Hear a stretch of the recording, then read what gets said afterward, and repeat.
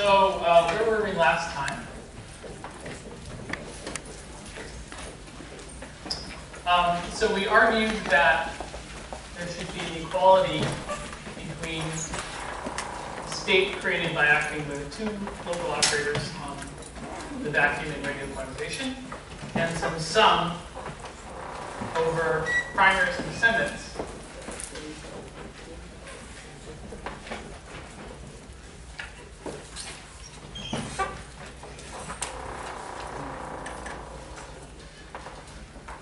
Um, and by the state operator correspondence, this actually is an equality between operators.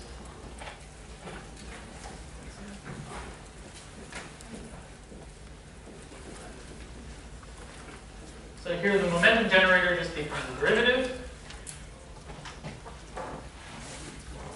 with respect to the position of this uh, operator on the right-hand side.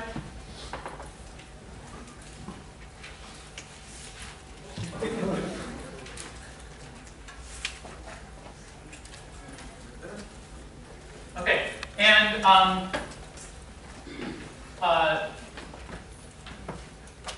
and this is an equation that it's an exact equation that you can use inside a correlation function. And based on the way we argued for it, um, it should be valid to use it. So valid inside any correlator um, uh, if the other operators in the correlator are farther away from x2 than x1.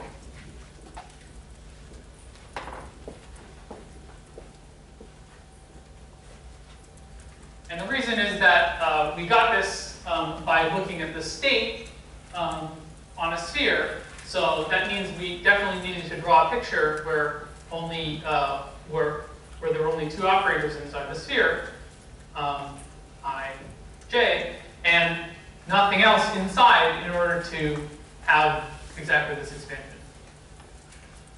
Um, there's, but you can actually do slightly better, actually a lot better. Um, so there's a different version of the OPE um, where you can start with two operators inside a sphere, and you don't have to take one of them to be at the center of the sphere. So I just did that for convenience, but you can just as well make the same argument in this kind of configuration. You do the path integral over the interior of the sphere with operator insertions in the sphere, neither one of which is in the center, and this can still be expanded in terms of primaries and descendants. So there's some set of coefficients. Um, they're different coefficients.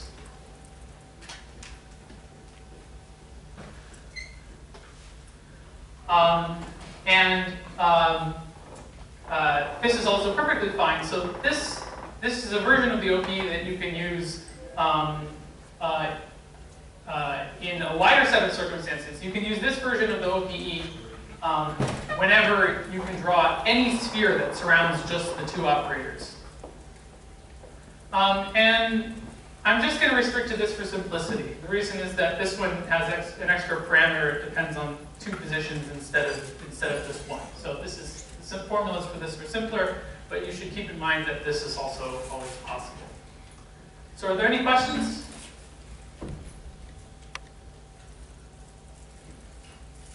Good, okay. So, so, so what is this thing? Um, so one way to determine what this is, is to start acting on both sides of this equation with conformal generators. So we know that the conformal generators, uh, we act in terms of some differential operators. And it should be the case that um, if you apply those differential operators on the left um, and on the right, you get the same thing. Um, and it's possible to go through this exercise for all the conformal generators um, and constrain these coefficients in that way. Uh, but there's a, there's a trick that's a little bit easier, um, which is to take the correlator of both sides of this equation with a third operator. um, so let's consider OI of x1, OJ of x2, OK of x3. And then this is equal to a sum over, let me call it K prime uh, to distinguish from this operator, Ci j k prime of x12 derivative with respect to x2 um, of this two-point function, O k prime of x2, O k of x3. Um, and the two-point function is fixed by conformal invariance, and we can choose if we like uh, an orthogonal basis of operators, um, so that uh, this is just the, the two-point coefficient is just uh, delta k prime k, um, and then of course this is over uh, x2, 3 to the 2 delta k. Um, so this is this is completely fixed, and the result of that is it picks out one term in the sum. So we just get Cijk of x1, 2, 2, 1 over x2, 3 the 2 delta k. Um, but the left-hand side, we also know, um, this is also fixed by conformal invariance. This is just Fijk, those coefficients, um, times x1 to the delta 1 plus delta 2 minus delta 3 times uh, cyclic permutations of that factor. Okay, so this was fixed by the conformal Ward identities, and this is fixed by the conformal Ward identities. Um, and this determines what this thing is. Um, in particular, you can work uh, in an expansion in x12. Uh, match both sides, and you'll be able to figure out what, what this is. Um, and just, just so you have some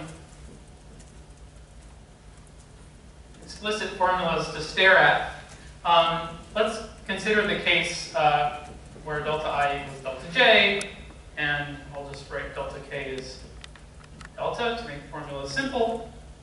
So then the claim is that Cijk of x, comma, derivative is Fijk x to the delta minus 2 delta phi.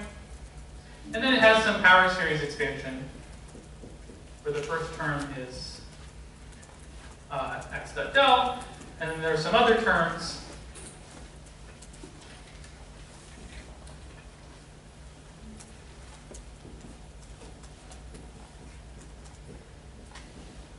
and so on.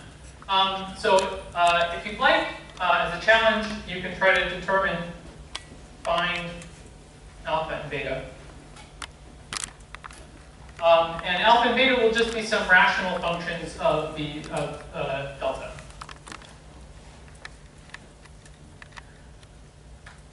Um, but it's already useful to have this to stare at because we can we can see a few properties of these coefficients. So the first statement is that um, it's proportional to a three-point coefficient in the theory, Fijk, is constant. Um, and that just multiplies the whole thing. The rest is uh, independent of the three-point coefficients. It just depends on the dimensions. Okay? Um, uh, another observation is this factor up front. Um, you could have guessed what this was um, from dimensional analysis.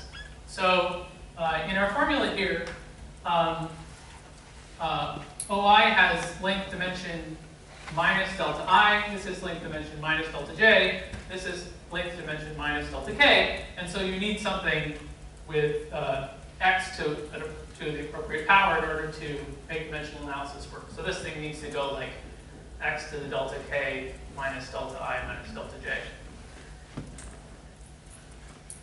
Minus something dimensionless.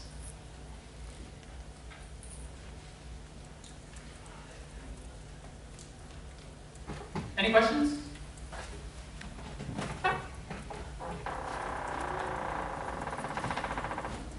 Okay, good. So, right. So the the OPE is an extremely useful tool for doing computations uh, in a CFT, um, and uh, in particular, it lets you reduce any n-point function of the theory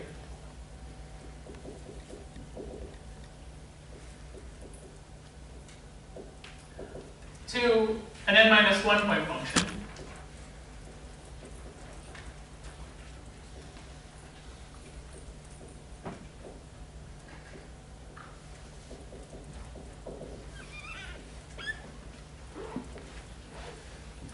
Um, and then you can repeat this. You can iterate this procedure and eventually get down to one-point functions.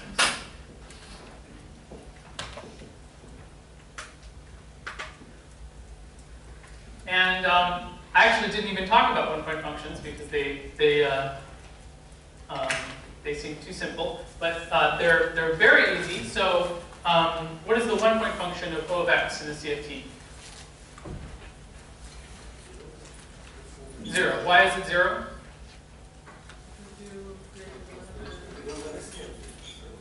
Right, good, okay, yeah. Every, everyone's shouting on symmetries, that's right. All the symmetries are responsible for making it zero, particularly there's no scale.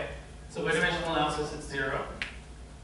Um, except, there's an exception. You could have a constant. You could have a constant. So for it's one for the unit operator, and zero otherwise. Um, and this is true on, um, on any space that's conformally equivalent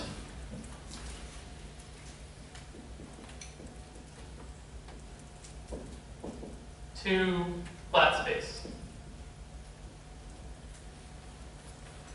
Um, the nice thing about the OPE is actually uh, you can still use it to do computations on manifolds that aren't conformally equivalent to flat space, as long as they're conformally flat locally. Um, and the only difference is, so this, this whole procedure still works. Um, on some other type of manifold, you'll just have a different formula for the one-point functions.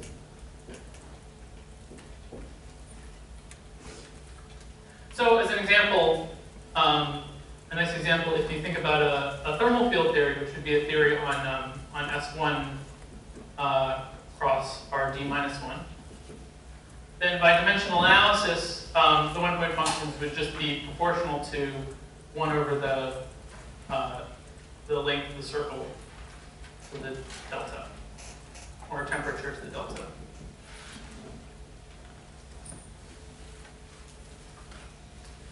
Um, so in particular, the OPE works in that case as well.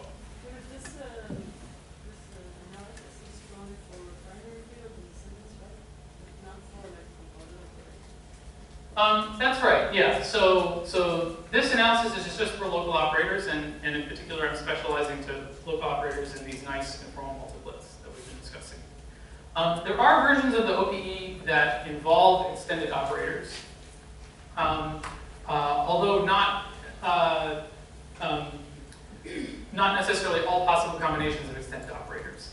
Um, so if you like, uh, you can ask me about that after the lecture. Tell you more. Um, other questions?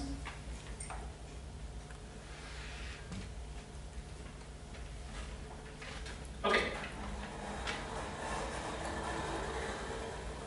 Good. So the existence of the OPE establishes establishes this claim that I made earlier that the two-point functions and three-point functions are really all, all there is.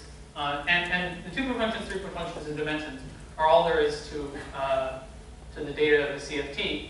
Um, all n-point functions are just determined in terms of those quantities. Um, and uh, so in particular, we can look at a four-point function.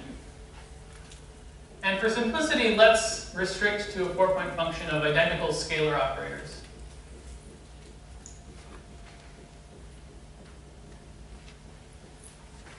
Um, and let's just work out uh, in detail this procedure for this case see what happens.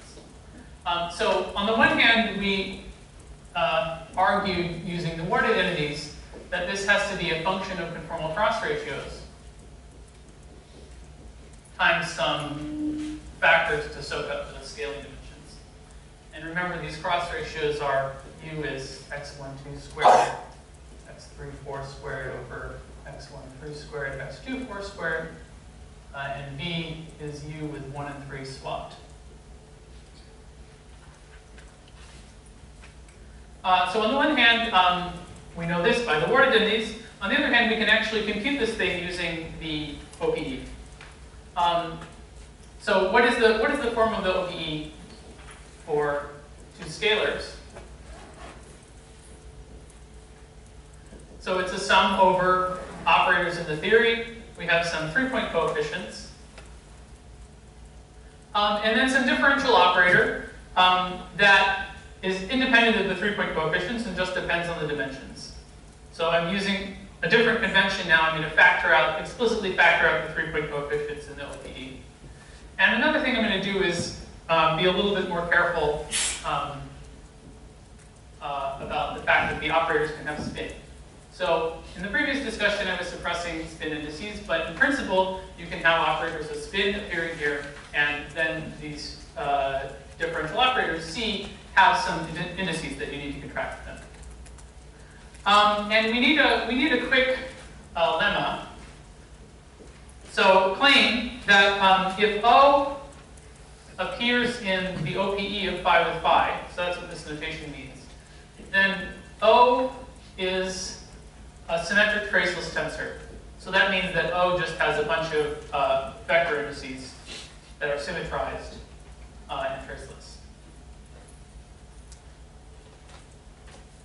Um, and uh, there's, a, there's a nice quick proof of this claim, uh, which is to think about the three-point function, phi phi o.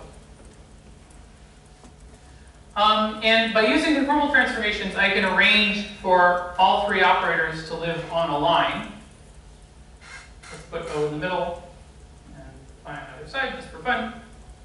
Okay, so I can arrange for all three operators to lie on a line. Um, and this configuration is then invariant under the rotations around this line. Okay, so there's some additional SO d minus 1 of rotations around the line. And so that means that this correlator had better be an invariant tensor of SOD minus 1. So uh, if you think about it, what that means is that the if I take the, so the SOD representation O, and I restrict it to the SOD minus 1 singlet subspace, that subspace had better be non-trivial. Um, and this is true if and only if O is a symmetric traceless tensor. So any other type of representation of SOD doesn't have this property. Um, and there's another fact, which is that L has to be even. Um, and this you can see by thinking about invariance under this transformation. In this case, if, take, if I take the phi's to be identical, then the three-point function has to be invariant under this kind of flip. And if you write down the possible form of three-point functions for this, uh, um, for this, these types of uh, operators, um, uh, you find that invariance under this flip requires that L has to be even. Yes? Pardon? Good, so conformal symmetry. So it didn't matter what positions they were at um, originally, you can always use conformal transformations to put, put them all on a line.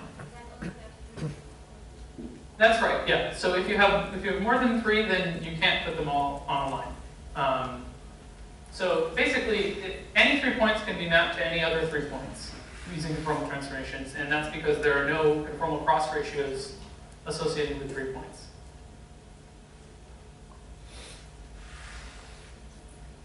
Other questions?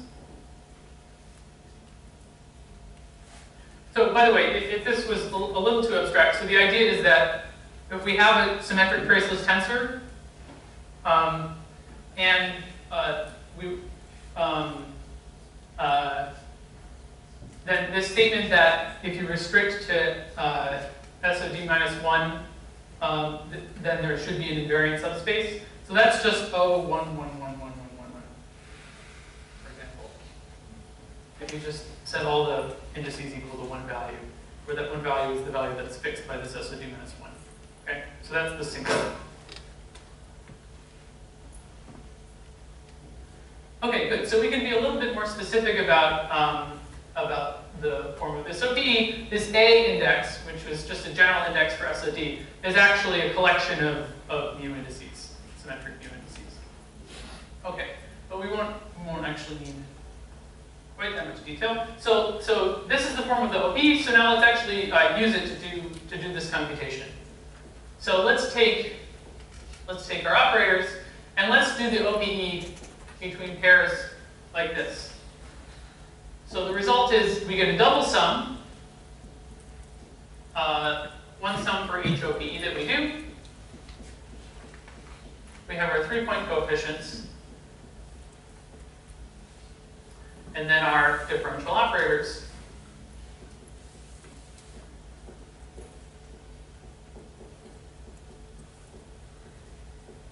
And then finally, this two-point function.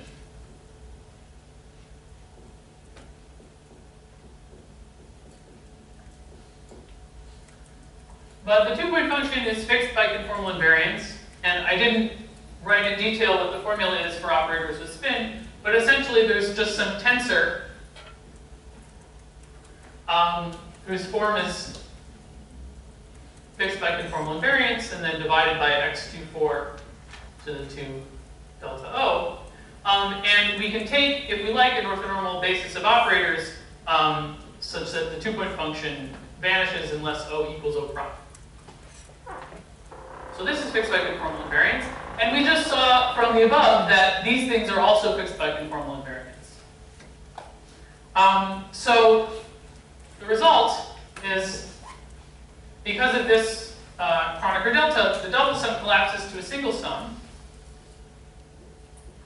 Now of squared OPE coefficients um, times something which is fixed by conformal invariance.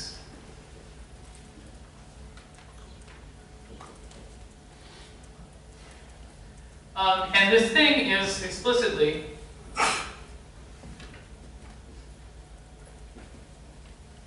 Oh, and let me um, let me just in the definition of this thing, let me pull out some conventional factors.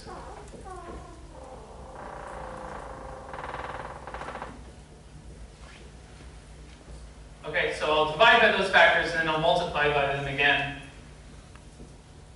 in the definition of this thing. And then this is just our differential operator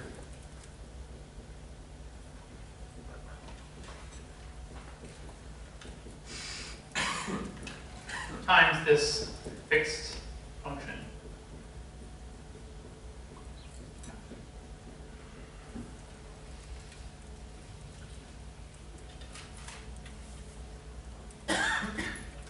Each of these things is fixed by conformal invariance, so this thing is fixed by conformal invariance, and the thing is called a conformal block.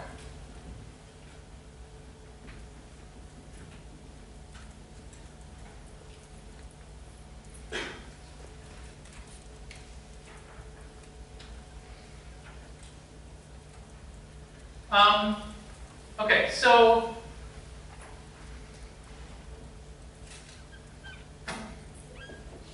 so to get a bit of intuition, um, exercise. So we computed this thing. So using using our expression for that, show that g for a scalar is equal to u to the delta over 2 times 1 plus subleading terms in, in uh, as x1 goes to x2. So this, uh, you might you might be able to do, I mean, it's just a couple lines of algebra. I encourage you to try it.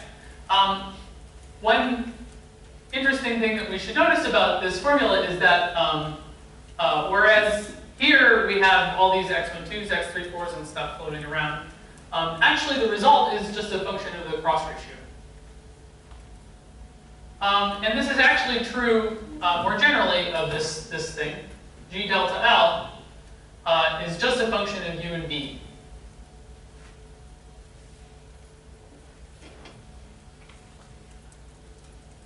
Um, so, so why, why is that? Um, and answering why will give us a slightly nicer way to think about what these conformal blocks are, and that'll lead us to a way to actually compute them as well.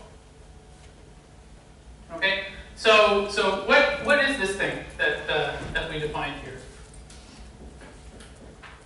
So this conformal block divided by these factors.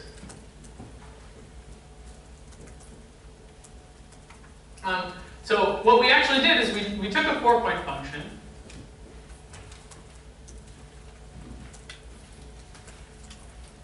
Uh, and we isolated the contribution of one conformal multiplet in that four-point function.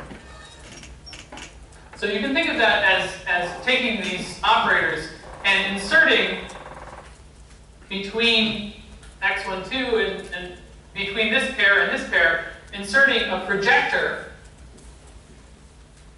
onto the conformal multiplet with dimension delta and spin L. Um, this projector, if you like, you can think of as another type of surface operator. And uh, because it's a projector onto a conformal multiplet, it by construction commutes with the conformal generators. If you project onto an irreducible multiplet, that, that commutes with the, with, with the symmetry generators. Um, and so what that means is that this object, even though it looks a little bit weird, satisfies all the same Ward identities as a four-point function. So if we were to start inserting conformal charges in different places, um, uh, we can move them around and deform them and go move them right through this projection operator, and it doesn't care about that.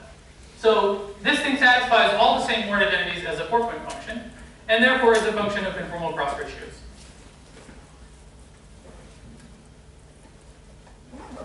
Questions?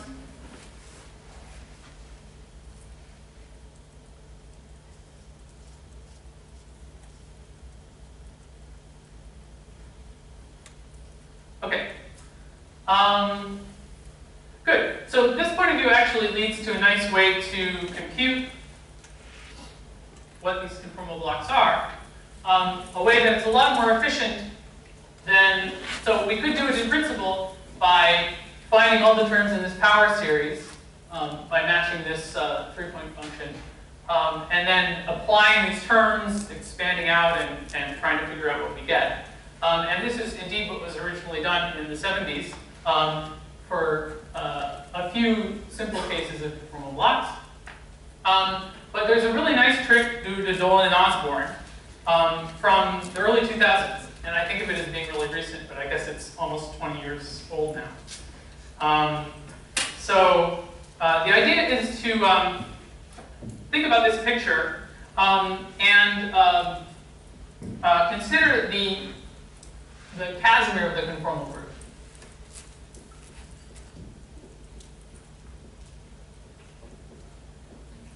So just a, a, little, a little aside on the conformal algebra. So I claimed a couple lectures ago that the conformal algebra was S of d plus 1, 1. And specifically, you can you can write the generators in terms of the ones that we define. Um, so uh, L mu nu is M mu nu, L minus 1 0 is D, L 0 mu is 1 half E mu plus K mu, L minus 1 mu is 1 half mu minus K mu. So exercise, convince yourself that these satisfy the algebra of uh, SOD plus 1, 1. Um, and uh, then one could define a Casimir, which is minus 1 half L A B L A B. Where here I raise and lower the indices using the metric appropriate to R d plus 1 comma 1. Um, and this Casimir has the property that it commutes with all the conformal generators. Um, and also its eigenvalue on, uh, on any state in a conformal multiplet, um, in, a, in a fixed conformal multiplet, uh, is as follows. So it has some eigenvalue lambda, and lambda is uh, delta times delta minus d plus L times L plus d 2.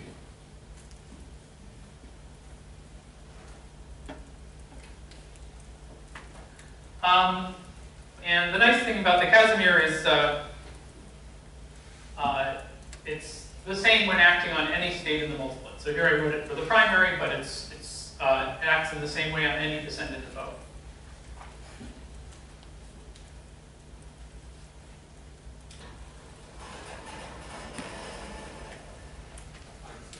Yes. Yes. And I think you just recombine it and suddenly the algebra, the, the sign of the algebra changing? Is it really equivalent to the original one? yeah, good. So I'm working in Euclidean space. So the Euclidean conformal algebra is, uh, is SOD plus 1 comma 1. Um, the Lorentzian algebra is indeed uh, SOD comma 2. And that has to do with the fact that when you, um, uh, when you rotate to Lorentzian signature, you um, naturally want to introduce vectors of I uh, in your generators, and then you'll change the, uh, uh, change the real form of the algebra.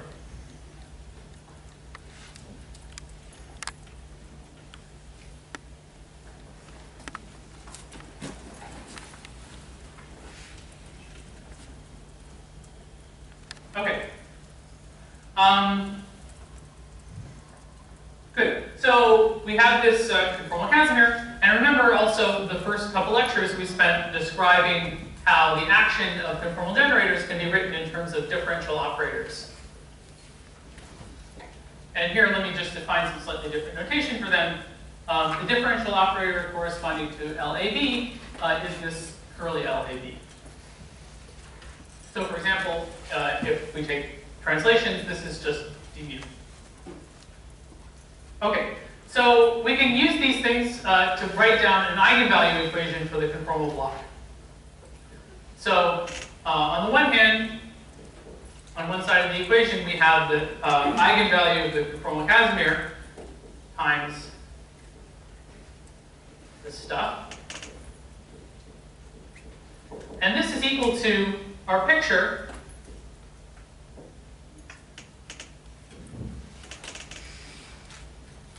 where we insert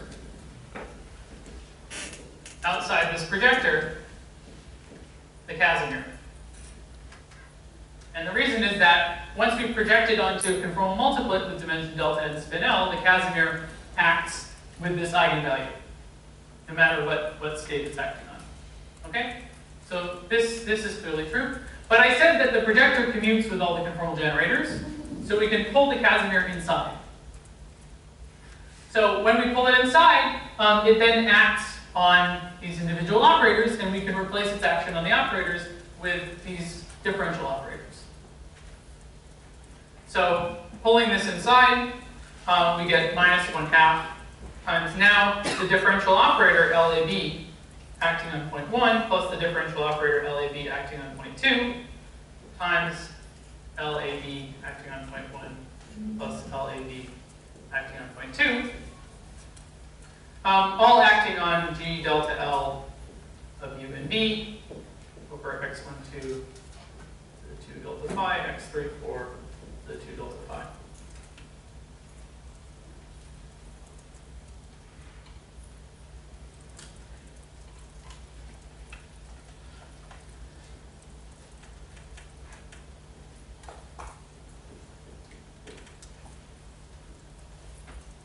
Okay, so these are some differential operators whose form we know. They're, they're each individually is a first order differential operator. So altogether we get um, that G delta L of U and V satisfies some second order differential equation. Yes?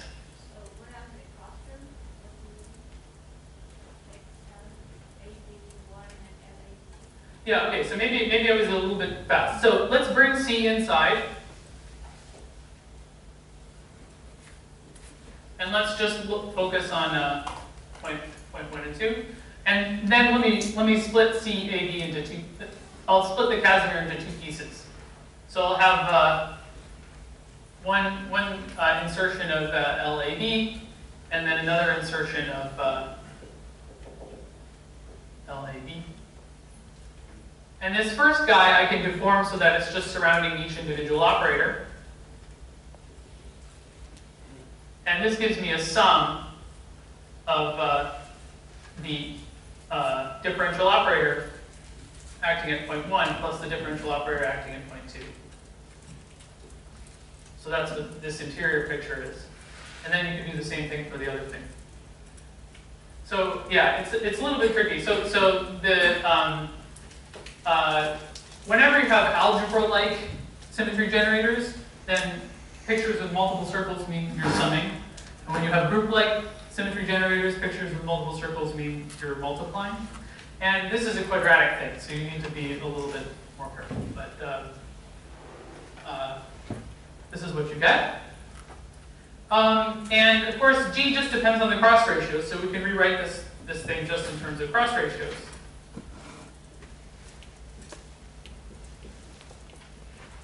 And it's equal to some explicit differential operator that only depends on the cross ratios times G delta L of U and V. Um, and I'll, I'll write the differential operator so you can stare at it, but we, we won't really need it. Explicit form.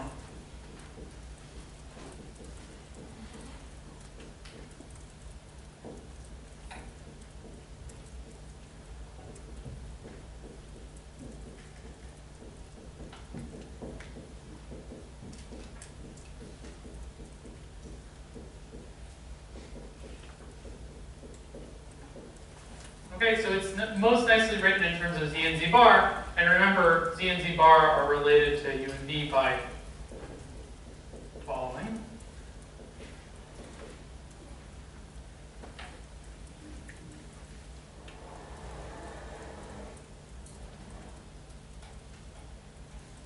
Okay, so we have some explicit differential equation, and all we have to do is solve it. Um, and uh, to solve the differential equation, we need a boundary condition. Um, but we actually already computed the boundary condition um, by just looking at the leading term uh, in the OPE. So that was this exercise up here. You can see, for example, in the case of a scalar, that g delta 0 of x of i starts with u to the delta over 2. And that's a good enough boundary condition for solving this differential equation. Um, and uh, good, so this is, this is a an efficient way to compute the blocks. Um, and one can recover, in this case, a, a well-known old result for the conformal blocks in, uh, in 2D.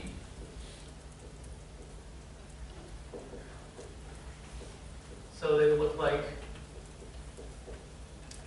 this.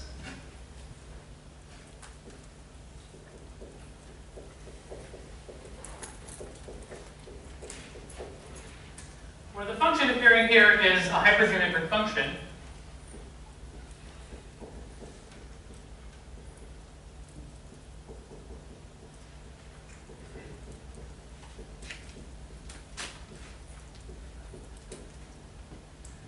Um, and this hypergeometric function actually plays a really important role uh, in the bootstrap. Um, it's, uh, it's essentially the conformal block associated to um, uh, the group of conformal transformations in one dimension.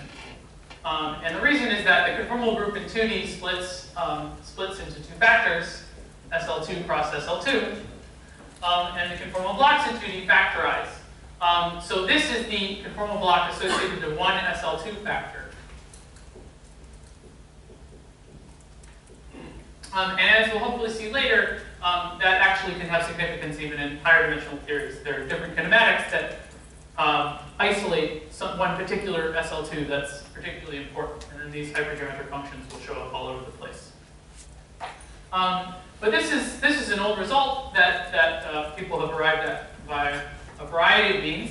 Um, but one of the nice things that Dolan and Osborn did is they showed that this equation could actually be solved um, in uh, higher even dimensions and it has, the, the solution has a, has a beautiful form.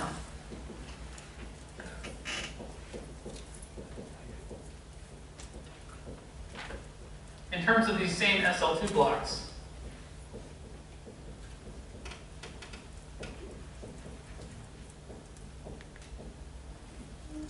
And I think it's fair to say that no one really understands why, why it has such a beautiful form um, why it should have such a beautiful form. I mean, you can just explicitly uh, solve this equation um, as they did, um, but uh, I couldn't get, I couldn't explain it to my grandmother why it was so nice.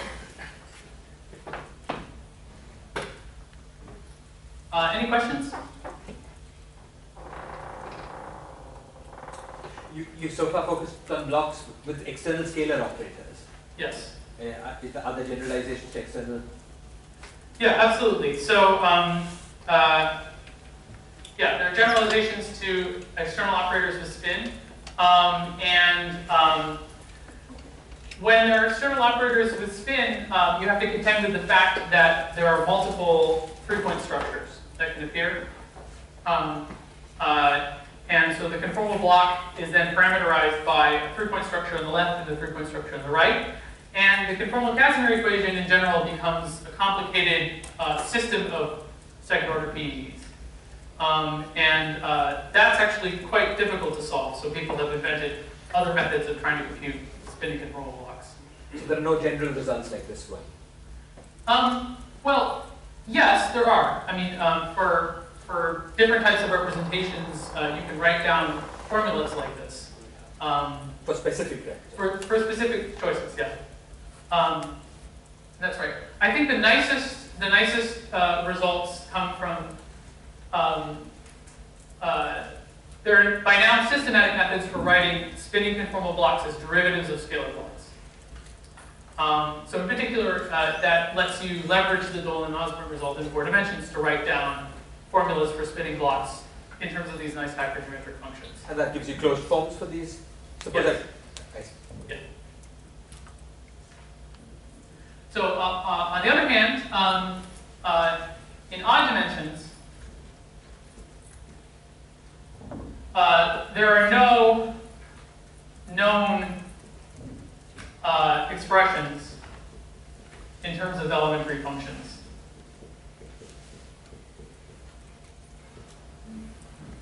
So the conformal blocks in odd dimensions um, are a little bit more complicated beasts to deal with, um, and in practice, for doing computations, um, they're either computed numerically or computed in some kinematic limit where they simplify, and we'll, we'll probably talk a little bit about that later.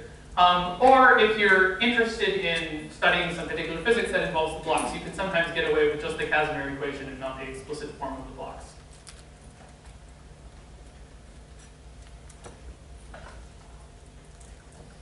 Other questions? What about 6D?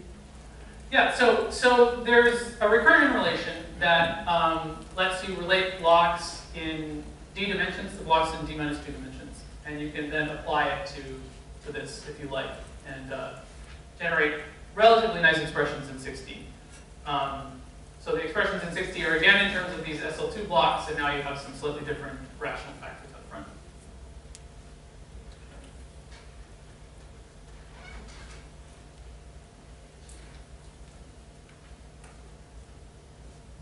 Okay, so we use the OPE to compute a four-point function, as I promised we should be able to do. Um, but there's something a little bit funny about this expression. So the thing that we found is that g of u and v is the sum over operators O, three-point coefficient squared, times conformal block. Um, the funny thing about this expression is that the way we computed the four-point function um, singled out some particular pair of operators. Um, but we were looking at a four-point function of identical operators, and uh, you might remember that in an earlier lecture I said that this thing should be invariant under permutations of the points. So in particular, it was supposed to satisfy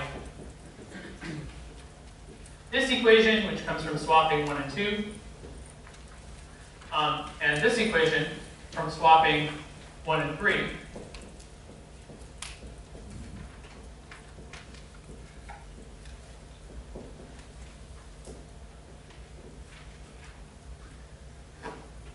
Um, and it's not completely obvious that this expression satisfies the, these conditions.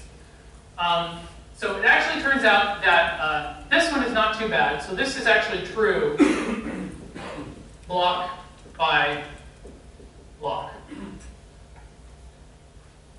Um, so that's this is a non-obvious symmetry of the conformal blocks, and I encourage you to check it for these explicit formulas. Give it a try.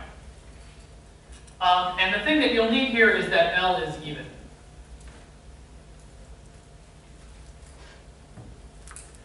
Uh, this equation, on the other hand, is not manifest. Uh, certainly not manifest block by block, and it's, it's also pretty complicated to understand from this expression. Uh, and this, um, this is the, this e- equation together with this expression is what we'll be uh, trying to understand for the rest of my lectures. Is there a reason it's true block by block, a priori?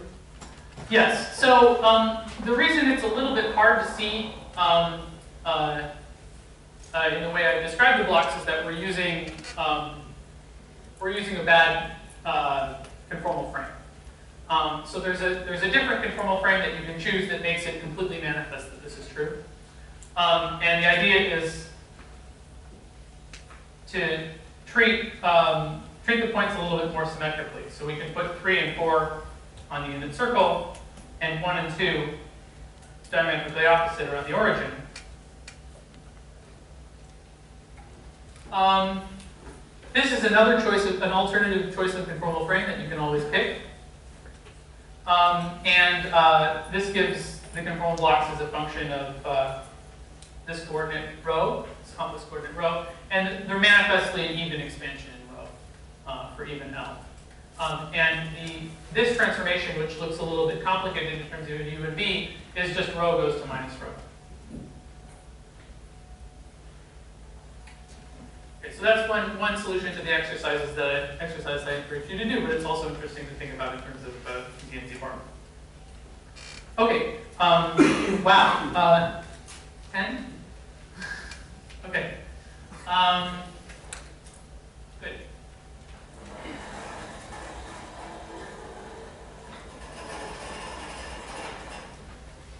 Okay, so this equation that we get from swapping 1 and 3 is not at all clear from the, uh, from the conformal block expansion. Um, and the reason is that it requires um, some strong conditions on the data of the conformal field theory, the dimensions uh, and OPE coefficients. Um, and one way to phrase it is that the OPE should be associative. So if we do the OPE between 1 and 2, and then between the result and 3, this should be the same thing as doing the OPE in a different order, say between 2 and 3, and then 1 in the result. Um, and um, uh, if you take a correlator of this equation with a fourth operator, um, you get what's called the, the crossing equation. And the crossing equation says that if you compute a four-point function by taking the OPE of 1 with 2, and looking, the things that, looking at the things that are exchanged, then you should get the same result as if you compute the four-point function by doing the OPE in a different way.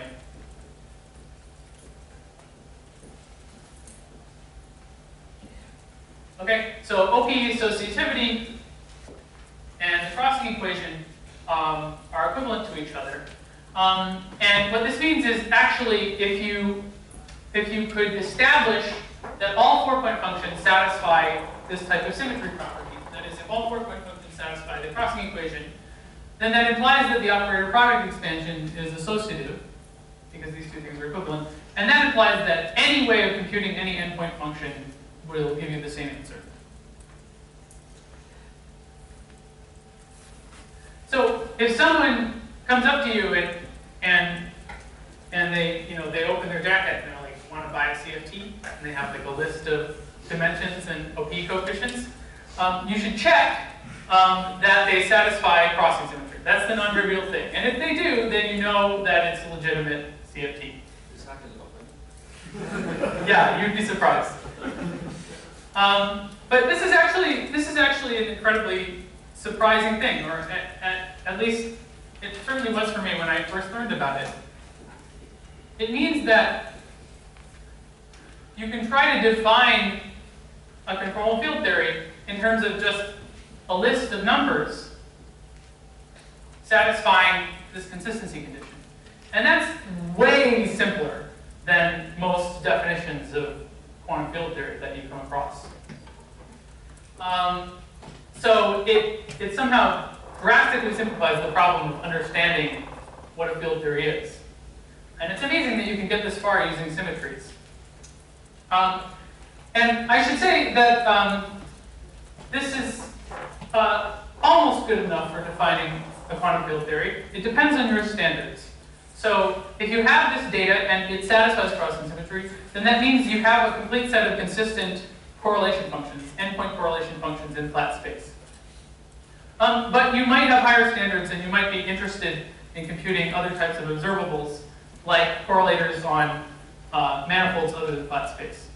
Um, and in that case, you can run into additional consistency conditions. The most famous of which is modular invariance for 2D CFTs, which is something that does not follow from, from crossing symmetry um, of, uh, of the local operators. Um, it's an additional thing you have to check. Um, and the analogs of modular invariance um, in higher dimensions are not really very well understood, and it's certainly not understood how they're related to just this list of numbers. So you should be a little, still a little bit uneasy about buying the CFT from that guy, um, because there may be consistency conditions that we understand in the future that uh, that they fail. Um, but for now, this is uh, this is already a pretty amazingly simple characterization of a field theory. The, the conformal blocks that you've talked about, Yes. do they form a basis for certain class of functions of cross ratios? Yeah. Eh, Is, is there a class of functions of cross ratios such that any any member of that class can be written as a linear sum of these? Um, I'm, I'm not sure what a simple characterization of that class of functions is. I don't, I don't really know. Um, so if there is a statement that um, any, uh, any single valued function um, uh, on Euclidean space, it's a function of two cross ratios, can be expanded as an integral of conformal blocks along the principal series. So an integral of conformal blocks where the dimensions are equal to this, for, where s is a real number. Um, so there's always some uh, set of coefficient functions you can find where you can write the four-point function as, a sum, as an integral of these things. There's a separate question of whether you can take that integral and deform the contour around the real line and then pick up individual poles on the real line. Um, so the condition for that is that the coefficients on the principal series form a meromorphic function that dies off at infinity in this direction and just has simple poles. I don't know how to phrase that directly in terms of the function, but maybe it could be done. Okay.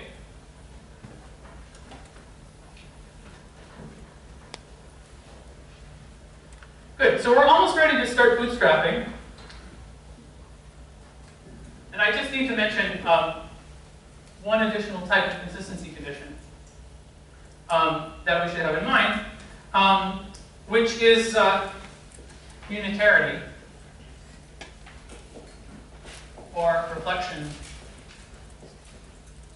positivity. So um, let me first say what reflection positivity is. So consider um, an operator in a Lorentzian theory. So, so let me just say, we're going to be interested in um, Euclidean theories that can be obtained by Wick rotation from a unitary Lorentzian theory. Um, and theories that are obtained by Wick rotation from a unitary Lorentzian theory um, inherit some nice properties from that theory. And one of those properties is reflection positivity. So let's consider a Lorentzian operator, and I'm going to suppress uh, the space directions for the moment and just talk about the time directions. So this operator uh, at some time t um, is equal to e to the iht times the same operator at time 0, e to the minus i Um, and we can rotate the Euclidean signature and define a Euclidean operator at some Euclidean time as just the Lorentzian operator evaluated at minus i times the Euclidean time. And this is e to the h to Euclidean, uh, Lorentzian of 0 is minus h to Euclidean. Okay, so let's suppose that our Lorentzian operator is a Hermitian operator.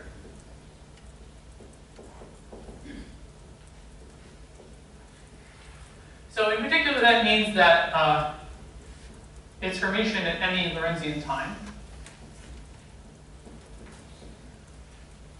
And you can check that, just take the, uh, um, just take the Hermitian conjugate of this expression and use the fact that the Hamiltonian is. Um, but this means something a little bit funny for the Euclidean operator. So if we take the Hermitian conjugate of our Euclidean expression, we find that its conjugate is the same operator at minus t Euclidean. So Hermitian conjugation involves a flip in the time direction. Um, okay, so one of the important conditions coming from unitarity is that norms should be positive.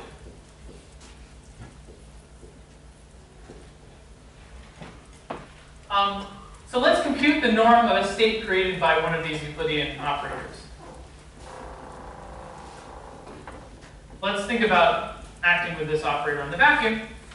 So the norm is then this correlation function.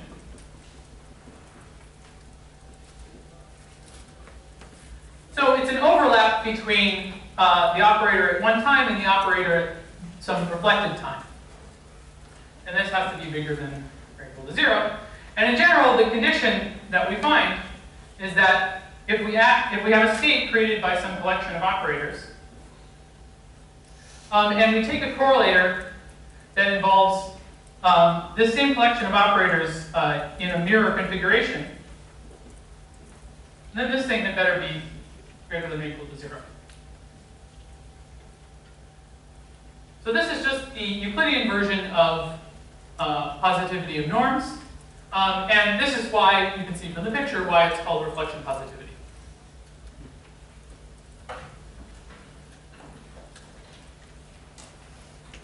And reflection positivity gives us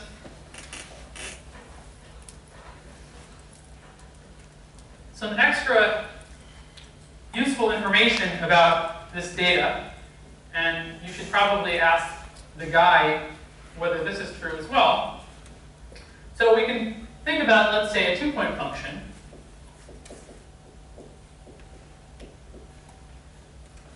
So remember, this is, I said earlier, this is some constant over x minus y, the 2 delta. Um, and no matter where these points are, we can always draw, we can always divide space into two pieces such that the points are reflections of each other around that, uh, around that plane. Um, and so that implies that this thing had better be positive, and so this coefficient had better be positive. Um, and in fact, the norm can only be, uh, be zero if the state is literally zero. So that means as long as this isn't the zero operator, uh, this thing had better be strictly positive. Okay, so that's uh, one result that has been alluded to a few times. Um, we can get something a little bit more interesting by considering uh, descendant, descendant operators. So let's look at a reflection symmetric configuration, and here let's put a derivative in the one direction of O at some positive time t, and a derivative in the one direction of O at minus t. Okay, so um, what is this? So this is dx1, dx2, 1 over, I guess it would be 2t squared plus x1 minus x2 squared to the delta. Um, and we want to consider the reflection symmetric configuration so that we'll set x1 equal to 0, x2 equal to 0. Okay, so exercise for next time, compute this and see and conclude something. Um, and I'll stop there.